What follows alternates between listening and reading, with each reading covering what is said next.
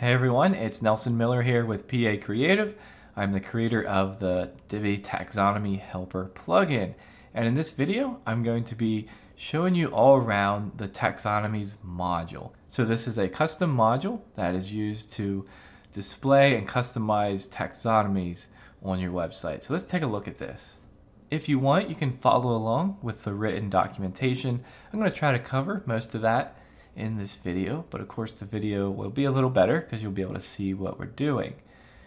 So what I have here is a brand new page and I already have my taxonomies set up. I have descriptions added and images added thanks to our plugin. But now I want to create a section on, let's say my homepage that displays all of my categories. So this could be blog post categories, it could be WooCommerce product categories, um, event categories, you know, LearnDash categories, whatever it is, you could display the categories and then when someone clicks on the item, it'll go to that specific page in the theme builder, okay? So let's just get started. I'll show you about the module. Divi Taxonomy Helper. And then here are all the settings in the module. So it's very normal. It's very much like a normal Divi module, okay? All right, so the first thing you'll notice here is post type. Now this will list all of the post types on your website. For me, it happens to be uh, these four. Um, in Divi, it will always be posts and projects. And then if you have WooCommerce, they'll have products. And I have the events calendar, so I also have events. So I could choose for one of these.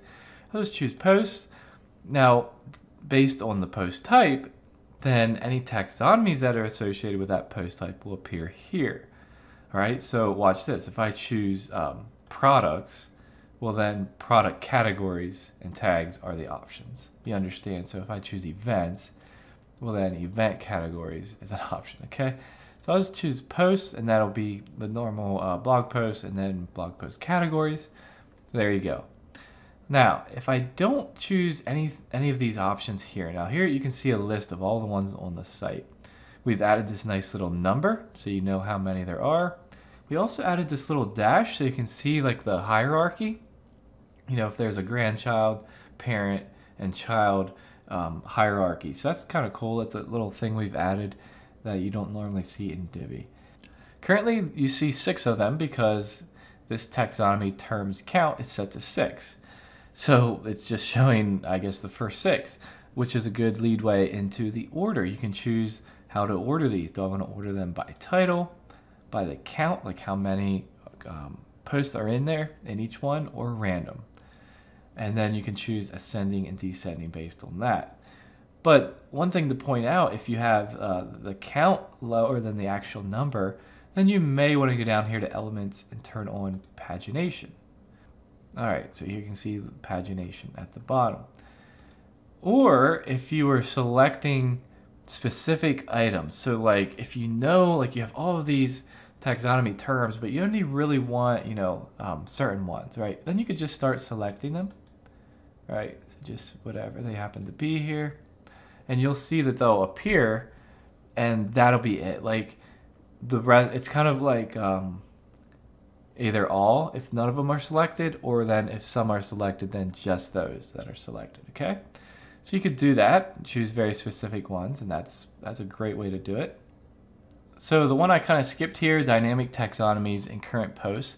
So if I would put this module into a blog post or into a blog post template, and let's say that blog post was in uh, you know the cycling category or the exercise category or both, then whichever category that post is in will display in the grid, right? So like if I'm looking at a blog post and the blog post is categorized as cycling and exercise, then these two will display and then I can click on there and go to the category. So that's kind of a nice, that's that would be what that was uh, setting is for. All right, moving on. Here we have a description length. We set it at 270, which is the default in WordPress and Divi, like a like an excerpt, right? But it's a description, right? So you could change that length. And then you can change this button text, and most of the times you would want to. So if these are posts, then I could say something like um, view posts, right? So you more than likely will want to change the button text. Layout, you can choose the number of columns, one through six, Okay, and something to note is you will want to do this for responsiveness. Like you want to, like if I have three here, then you'll want to choose um, something like one on phone and on tablet, maybe something more like two. Okay, so make sure you adjust that. Here's a spacing between setting, so you can kind of see what it's doing there. It's adjusting the space between. All right, and then elements, you can like um, turn things on and off. Here you can show the post count. So it'll say how many are in there. I've seen that a lot on categories. You know, WooCommerce product categories. I've seen how it says how many like products are in that category. You can turn off the description or the button, um, the title. I'm not sure why you would ever want to turn the title off, but um, you, you can you can do that. Okay. Um, the image you can choose to turn them off, and then look what happens. If you turn off the images, there's actually a new setting here. It says use icons. So I could actually turn use icons on now. So it's either images or icons. The images are the ones you set in the back end in the individual terms. Now, if I choose use icons, now I could go to the design tab over here to icons and all of the items here, I can choose an icon for it. So let me look for a couple of these here. Uh, let's see, cycling is one that we have added. Um, you can see it has the icon right there. Exercise is one we've added. So then, you know, then you could go in the design tab here and adjust that. Check that out. The spacing, everything. So you could use icons instead of images if you want to. And that actually is a good segue. I think we've covered everything there. In the design tab, so you have taxonomies and that's the whole like the whole item. Okay, in fact, here let me show you. See, it's like the whole the whole thing, right? And I could even add some space here and you would see exactly what I'm talking about. And everything here that you would need, border, box shadow, the spacing. You can do the same thing for images. You can, you can control the image width and height. Um, and if you want to have it contain or cover. And then spacing, alignment, borders, box shadow. We already looked at icons, okay? And then title text, all the normal font settings, count text when you have the post count on, description text, and then the button, use custom styles, and you can, you know, customize the button. Again, these are all pretty normal Divi settings. All right, hope that's helpful. A little overview there of all the settings. A lot of settings, a lot of content settings, and a lot of design settings.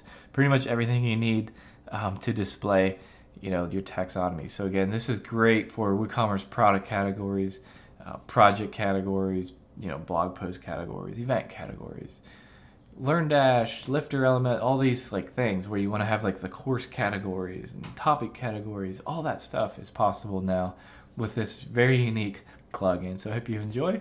And um, if you need any other help, we have a couple of other documentation videos and of course all the written documentation as well.